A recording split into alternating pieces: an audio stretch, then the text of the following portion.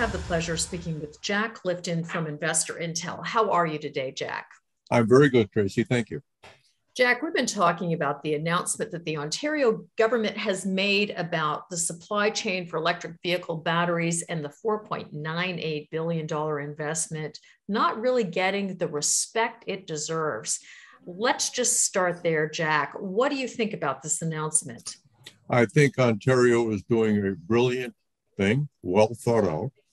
The automotive industry began to boom in Detroit in the mid teens of the last century, 100 years ago, when Henry Ford decided to vertically integrate the industry.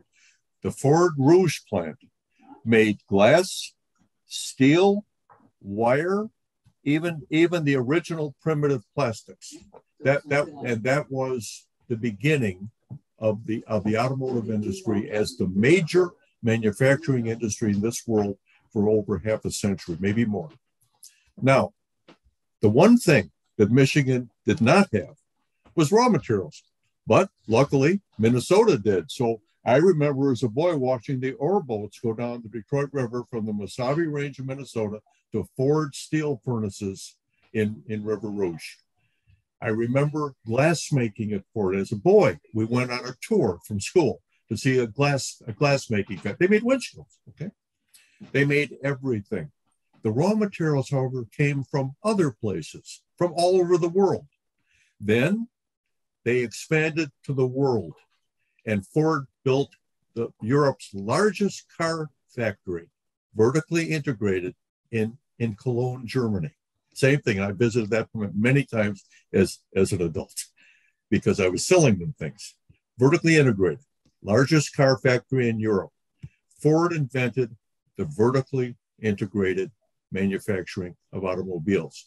But they couldn't they couldn't depend on raw materials from Michigan. Okay, so what happened? Henry was importing rubber from Malaysia, tin from Malaysia, the, the specialty chemicals for glass from Asia. Okay, that's what was happening. Now, that all went away at the end of the 20th century. It became the fad for car companies to stop being vertically integrated and depend on globalization. And so what happened? Some other countries, besides the United States and European states, decided, hmm, well, we've got all the raw materials and those guys are doing the manufacturing. Maybe we can turn that around. Well, 30 years ago, China didn't make cars. Now they make a quarter of all the cars in the world, more than anybody in America, more than anybody in Europe. How did they do that? They gleaned all the raw materials and the manufacturing technology, and they put them in one place, China. Now, what is Ontario doing that's different? Ontario has all of the raw materials necessary to make a car, except iron ore. Well, that's that's close by, isn't it? In, in the Mesabi Range of Minnesota. Copper is close by. It's produced in Michigan. Cobalt is close by. It's produced in Ontario and a little bit, the, the little bit America makes in Michigan. There's lithium deposits in Ontario.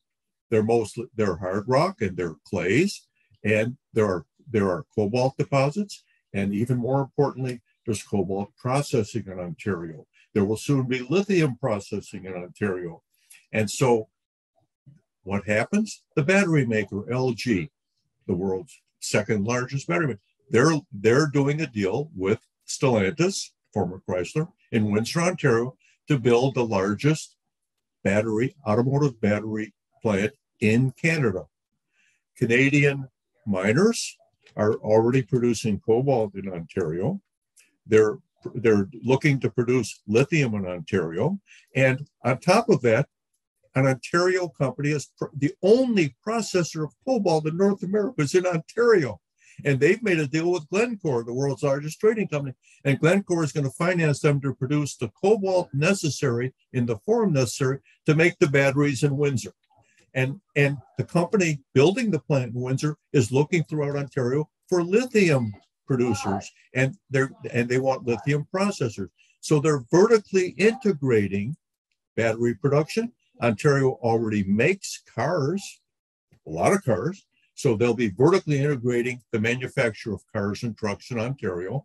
And and surprise of all, the government of Ontario is promoting this. They're saying, well, we're going to take a hard look at reducing regulatory issues. We're going to help finance the, these operations, and we're supporting the, the total vertical integration of the production of, of battery powered electric vehicles in Ontario. This is the first jurisdiction outside of China to do this openly, to do this. And I think it is a brilliant move. I, I don't know the Premier Ford of Ontario, but I'd like to shake his hand because he is he has leaped ahead of the rest of North America oh, in, in, in, in, vertical integration. What? And that is that's why I'm excited. I guess I'm I'm getting too emotional about this, but I'm so excited to see vertical integration return to North America. I won't say to you that I'm I'm not surprised it's in Ontario because the the government of Ontario is quite frankly a lot more savvy than the government of let's say Michigan. They they know they they are really on the right track and I suspect that that Windsor is going to go from quite frankly I think Windsor is going to be uh, much more important than Detroit in about 10 years in the automotive industry and I'm not kidding. And people say, Are you crazy to say something like that? No, I'm talking about reality.